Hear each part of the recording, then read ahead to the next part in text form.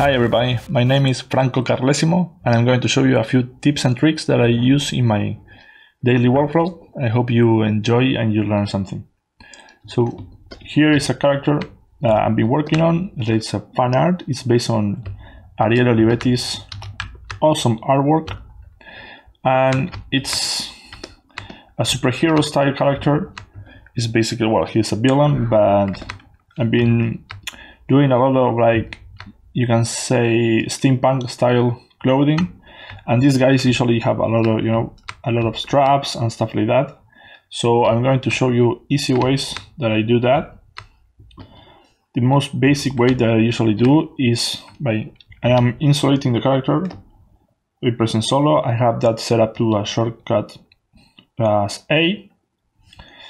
And just holding control that gives me the usual no masking. What I want to use now is the lasso masking. So what I do, just mask this part, go all around. Then I can go and get the extract button. That's going to give me a new geometry. Now, if you drag, and you're going to lose that, this is just a pre-visualization. You need to drag, uh, press on the extract, then accept it. Now, we once we have this you can see here that I have something extra I didn't want. I'm just going to drag outside. Just going to select my lasso tool, just holding control and shift to isolate this part. I can press now alt, it's going to turn red and that is going to disappear. It's still going to be there, but we can get rid of that geometry, modify topology, delete hidden. There we go. Sorry about that.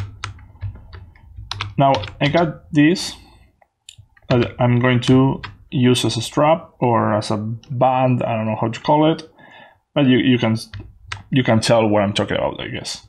So now the thing is that it's, it's too thin for me. That's why, just because I didn't set up the extrude thickness correctly from the get-go. So what I can do is just with the move tool active, if you hold control and drag on the yellow icon, the center, is going to make it thicker. So it's basically an inflate.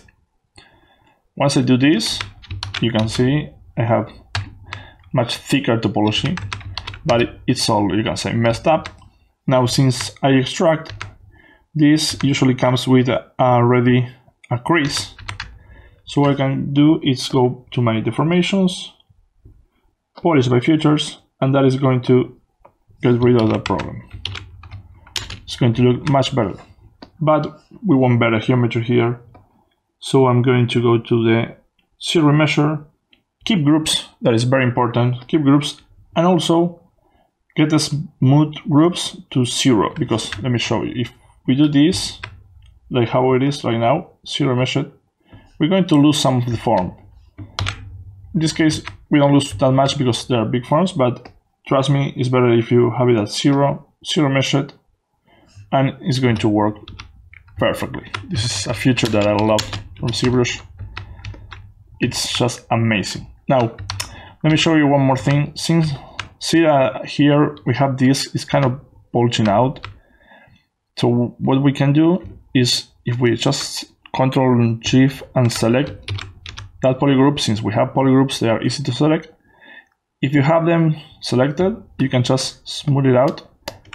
And since by default, it's not letting uh, two points that are not connected uh, smooth out, it's just going to smooth the center parts.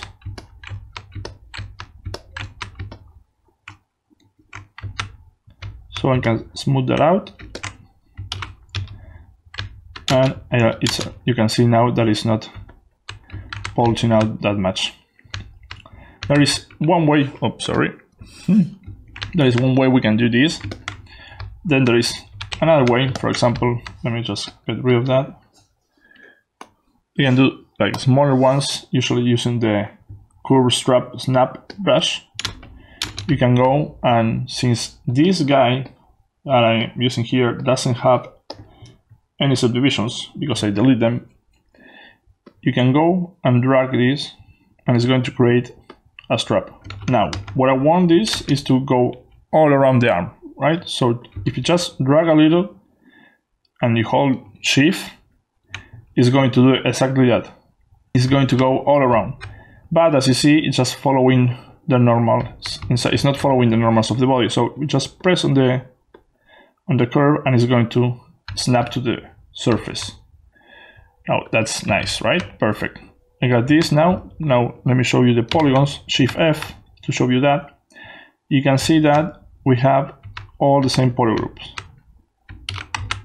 So let's just split that into a separate uh, subtool. Split masked points. Now we have this. Now if I want to subdivide this, just pressing Ctrl D, it's going to do that because we don't have hard edges. Like the way Polygon works, this is going to be the result. It's going to soften everything. So what we can do now is something that I use quite a bit that is called group by normals. Okay, you can find it on the polygroup tab, group by normals, and you can see here it's at 45. So everything that is bent, you can say 45 degrees, is going to change the polygroup. So there we go, and now we have everything separated in polygroups. That is quite good. Now, if I press Ctrl D, you still see that it's going to do this because we don't have enough, enough polygroups. There are many ways you can fix that. Let me show you just a few.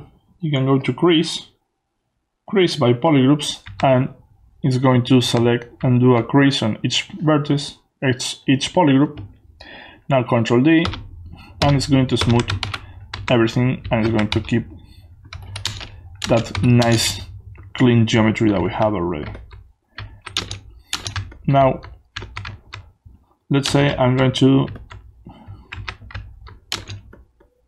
take this away a little bit and now I, I want this to show you, you know, a little bit about the, the, the surface that is down there. So the brush that I use a lot, I like is ZProject. You can get this brush and just press it a little bit and it's going to conform to the surface that we have. Maybe we need let's do a ZRemesh.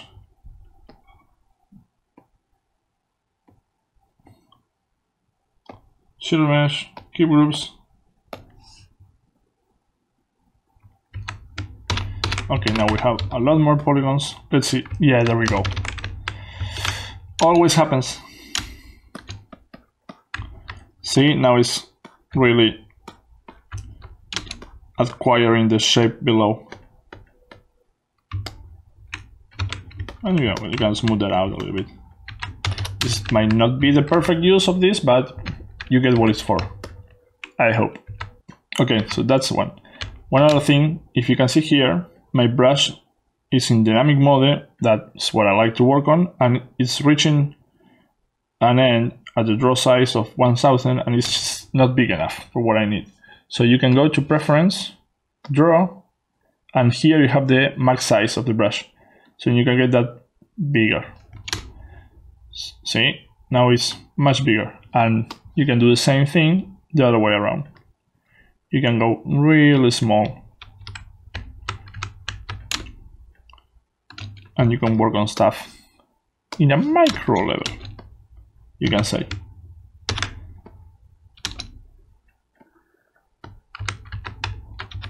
Super useful. Well, that's it for this time. Hope you like it and happy ZBrushing.